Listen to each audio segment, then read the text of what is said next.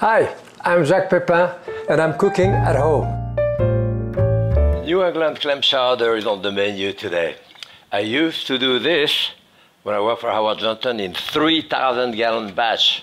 Not exactly like this, but uh, I want to show you how to do it. I have some bacon here, a couple of slices of bacon, two, three slices. I should have about probably uh, probably half a cup.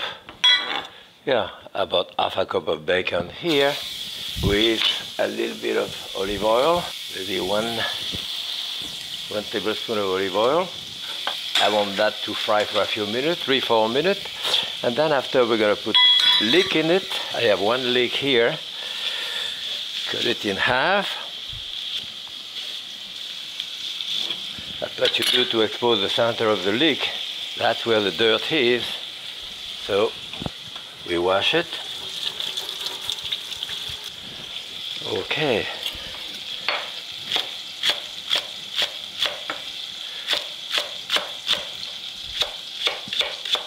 That's probably two cup of leek here.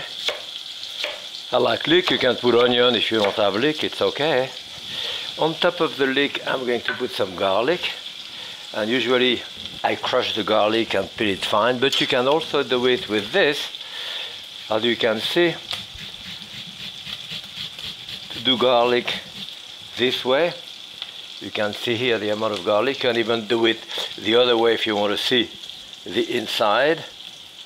And here I will have, have a large load of garlic, probably a good two teaspoons of garlic here. Can of course crush it by hand as I do usually, but it's another way of doing it. So I think my bacon is about fine now. So, leek goes in it, garlic,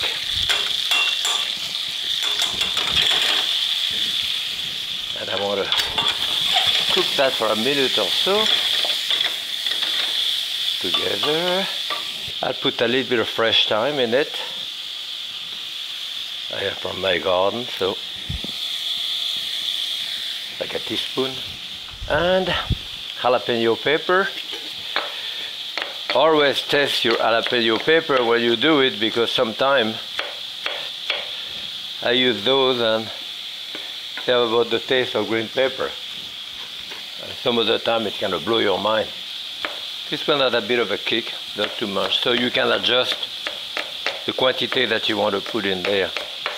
For me, I'm putting the whole thing here, which is probably like two, three tablespoons. This again, I stir it.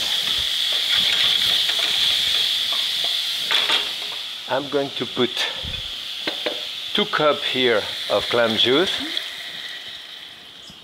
and uh, probably a cup of water and I have about half a pound of potato here two potato I'm going to cut them into dice about half inch so about the same amount that I have of leek so this is the New England clam chowder. I used to have a restaurant in New York called La Potagerie on Fifth Avenue. I used to do the Manhattan clam chowder with vegetable, you know, tomato, vegetable and all that, quite different. That, the classic New England. So again, about two cups of potato. Okay, here you're going to have eventually to adjust for salt. Of course, so I have about probably a good half a teaspoon of salt and pepper.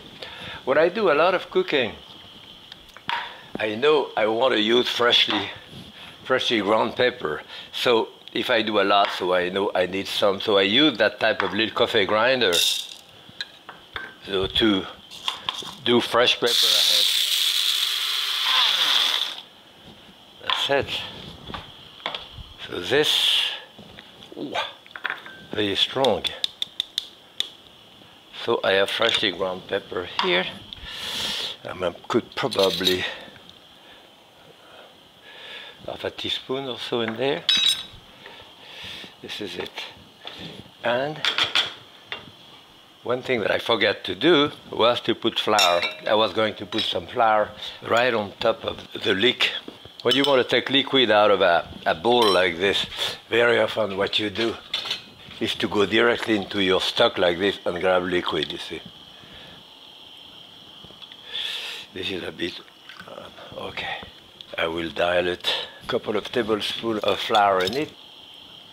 Remember, when I did the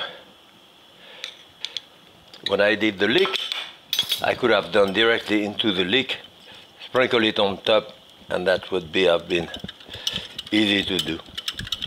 But yeah, that's another way of doing it. You don't want to put the flour right in there here because it probably would form into lump. This now will come to a boil. Boil gently for like about 20 minutes. And some corn. I put a bit of corn in my chowder because I like corn and I think it goes well with it. So when you cut corn like that fresh, be sure your finger are not higher than the corn. It goes here and you pivot it. When you cut it with a knife, don't put your knife straight like this, it's hard. You have to cut. You see, it's, it's easy to cut like this. You know, the motion of a knife. That is the motion of cutting rather than just crushing. You can do it, of course, another way by uh, by putting this straight down and doing it the other way. Those are fresh corn and there is nothing like and when corn like this yeah will give you a cup about a cup of corn we'll put that at the end because I don't want to cook the corn more than like one minute just bring them to a boil at the end with the cream and you can see the texture that he has here it's just slightly oily. I will test it for salt. I think it's fine now. Cover this, lower the heat, 20 minutes. Okay, my chowder is nice and thick here, the way I want it. So now I'm putting my corn in there. And I just want that to come to a boil with the clam. I had two cans of uh, 10 ounce inch of baby clam here cooked. Of course you can do that with uh, fresh clam. Take a long time to cook for the clam. That would be enough for six. I'm going to bring that to a boil. Now it came back to a good boil. Now I'll finish it with cream. Uh, a good half a cup of, uh, of heavy cream here.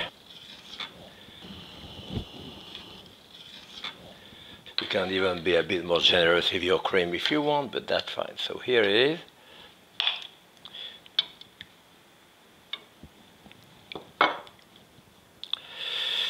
New England clam chowder. I put a bit of chive for color on top here. Okay, my New England clam chowder. Happy cooking.